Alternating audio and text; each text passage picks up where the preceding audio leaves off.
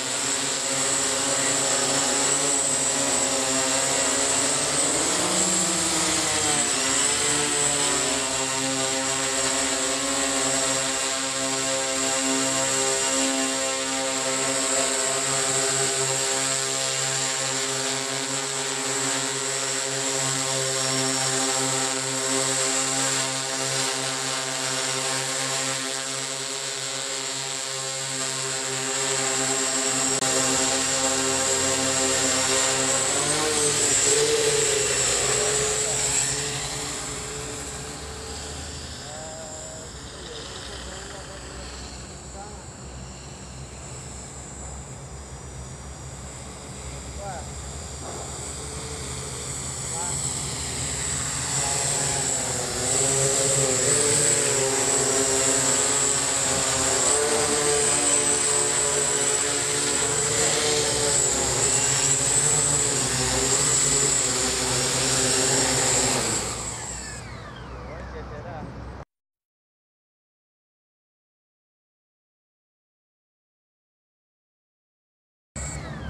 Let me teach you how to take off in GPS position hold mode.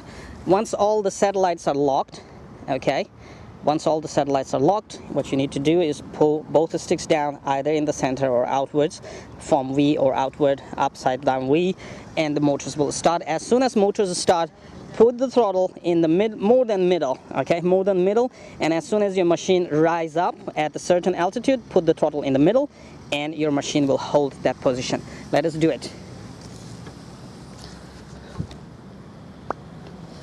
So here we go.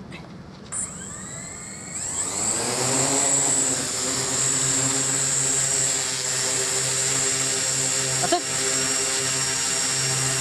It's just that easy. It stays right there where you leave it in GPS position hold mode. Make sure the compass calibration is right.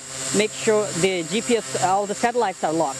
Okay, and after that, this puppy is all yours to fly.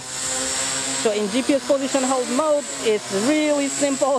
As you can see what I'm doing with my sticks, I go up, I raise the throttle, right is right, left is left, forward is forward, backward is backward. Ooh, lots of wind, lots of wind. And yaw is always in your hands. So once again, if you want to take off, with me holding the radio this way very awkwardly behind the tripod. I will land, okay, and turn on the motors, throttle goes up, throttle goes middle. That's it. That's it. I hope I didn't put the sticks away, but I can do it again, once again. Hold on.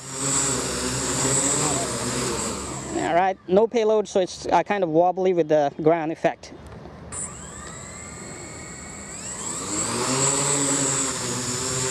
That's it.